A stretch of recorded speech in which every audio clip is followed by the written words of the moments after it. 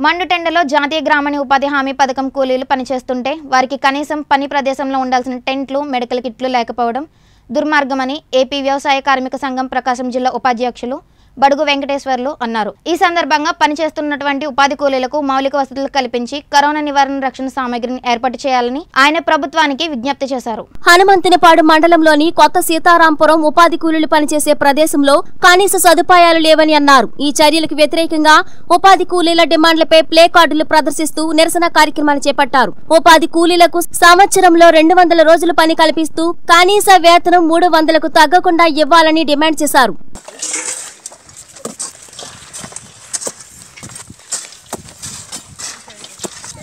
fuera.